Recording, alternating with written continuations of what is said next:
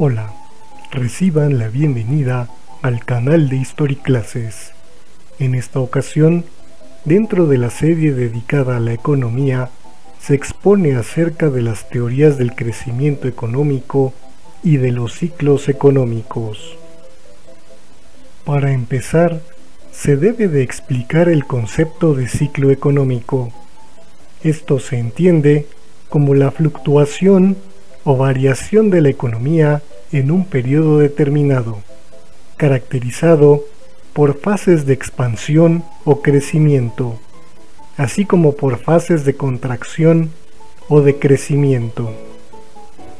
De esta manera, un ciclo económico se representa mediante gráficas mostrando periodos de crecimiento y declive. Cuando el crecimiento está en el punto más alto, se habla de una etapa de auge económico, también llamada cresta, para luego bajar y entrar en un periodo de recesión. Cuando la recesión llega al punto más bajo, incluyendo a niveles inferiores al 0% de crecimiento, se habla entonces de una depresión económica. A la depresión también se le puede llamar valle. Después el ciclo económico se renueva con una nueva fase de crecimiento, entendida como periodo de recuperación. Veamos ahora a las teorías sobre el crecimiento económico y sus representantes. Estas teorías se desarrollaron en los siglos XIX y XX. En primer lugar, se nombra la teoría de economía nacional o de las fuerzas productivas, desarrollada por el alemán Friedrich List. Esta teoría se desarrolló en la etapa de la consolidación de los estados nacionales, así como de la industria durante el siglo XIX. En este contexto histórico, List propuso la protección de industrias nacionales, Asimismo, en su teoría económica, consideraba primero el bienestar colectivo, antes de buscar los beneficios individuales. Buena parte de su teoría se desarrolla en su libro El Sistema Nacional de la Economía Política.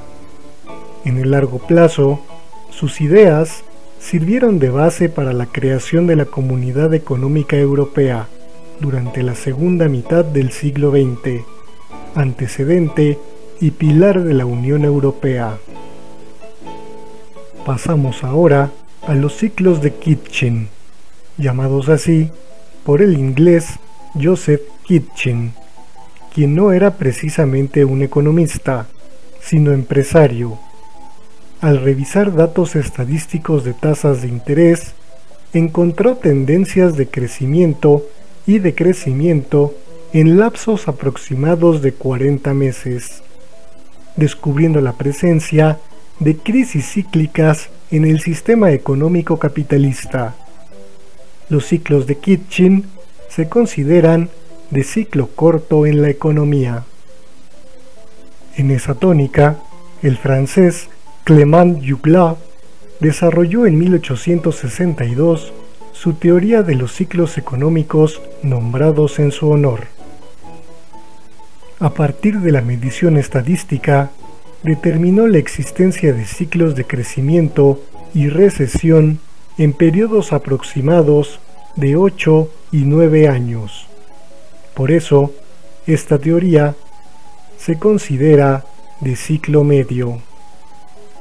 Ahora pasamos a los ciclos de Kondratiev llamados así por el economista ruso Nikolai Kondratiev. Él expuso la teoría de ciclos largos de la economía, de hasta 50 y 60 años, con coyunturas o etapas más breves de expansión económica, crecimiento lento y descensos económicos prolongados. Esta es la teoría del ciclo largo la cual causó polémica en su país al momento de adoptar el sistema socialista basado en la planificación económica. Por sus ideas, Kondratiev fue fusilado en 1938 por el régimen de Stalin en la Unión Soviética. Antes de la teoría de Kondratiev, se desarrolló la teoría del equilibrio general por parte del francés Léon Walras, quien trabajó como catedrático en la Universidad de Lausana en Suiza. Esta teoría parte de lo particular a lo general, considerando a la conformación del mercado por oferentes, es decir, quienes ofrecen un producto y los demandantes, o sea, los consumidores o quienes necesitan un producto. Y cada producto tendrá un comprador si se llega a un acuerdo entre ambas partes. Posteriormente, se desarrolló la teoría general del capitalismo por parte de Joseph Schumpeter, nacido en el Imperio Austrohúngaro, en territorio de la actual República Checa. Este economista después se estableció en Estados Unidos. En su teoría, considera al capitalismo como un sistema en cambio constante. También retoma los ciclos de Kitchin, Juglar y Kondratiev en el desarrollo capitalista. También considera que los ciclos largos dependen del desarrollo industrial y de la innovación tecnológica en un periodo histórico. Para cerrar, se menciona la teoría del crecimiento continuo, desarrollada en el siglo XX por el estadounidense Robert Solow.